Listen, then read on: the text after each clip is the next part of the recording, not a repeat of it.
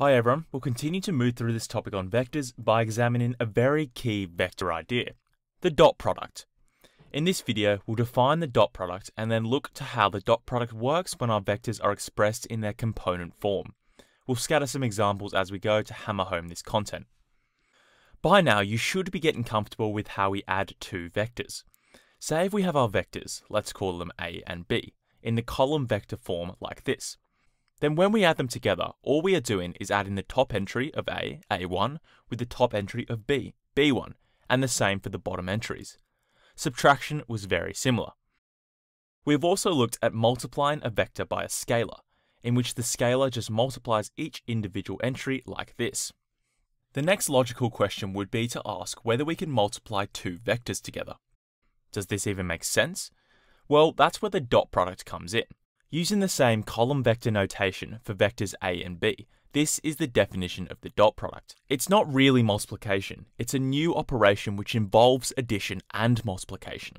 Pretty much, you multiply the first entry of each vector together, that's a1, b1, multiply the second entry of each vector together, which is a2, b2, and then you add the two resulting numbers to leave you with a1, b1 plus a2, b2. Remember, A1, B1, A2, and B2 are just going to be some numbers, meaning all we are doing is multiplying and adding numbers. The result is that the dot product will just be a number. It will not be a vector.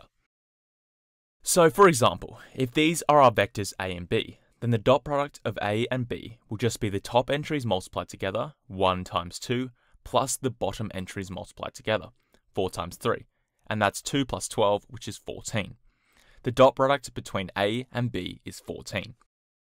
One thing to note is that the dot product is sometimes referred to as the scalar product. I'll tend to run with dot product just because I think it serves as a reminder for the notation you have to use. That is, you represent the dot product between two vectors with a little dot directly in the middle of the vectors. Do not use a multiplication sign.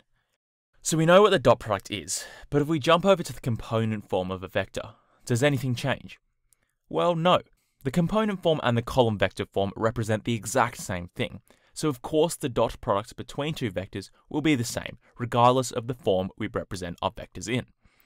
Recall that our component form will look like this for vectors a and b. The first entry in the equivalent column vector form is now just paired with the i unit vector, and the second entry is paired with the j unit vector. This means the dot product will be the two numbers in front of the i's times together, a1, b1, plus the two numbers in front of the j's times together, a2, b2. Our dot product is a1, b1 plus a2, b2, identical to before. Let's take our example from earlier, but now with our vectors in the component form. If we want the dot product between the two vectors, we first multiply the numbers in front of the two i's. 1 times 2. Remember, if it's just an i with no number outside the front, this is just the same as saying there's a 1 there. To complete the dot product, times the numbers in front of the j's together, 4 times 3, and add this to our result. Our answer is again 14. The only place where you have to be a little careful with the dot product is when negatives are involved. So take this example in the component form. When the minus sign appears, remember that the number in front of the i in vector A isn't just 6, it's negative 6. So our resulting dot product between A and B will be negative 6 times negative 4 plus negative 5 times 5, which is 24 minus 25, negative 1. And that's all sweet because the dot product can definitely be negative. Remember, although the column vector form and component form look different, when we take the dot product between two vectors in either form, the resulting answer will be the same number. Let's stop there for this video. We learnt today that the dot product is a multiplication of sorts between two vectors, but it has a unique definition, which is up on screen. Taking the dot product of two vectors will result in a number. Even for two vectors in component form, their dot product will be exactly the same as in the case when they are column vectors. Get plenty of practice taking the dot product between vectors. I'll see you in another video.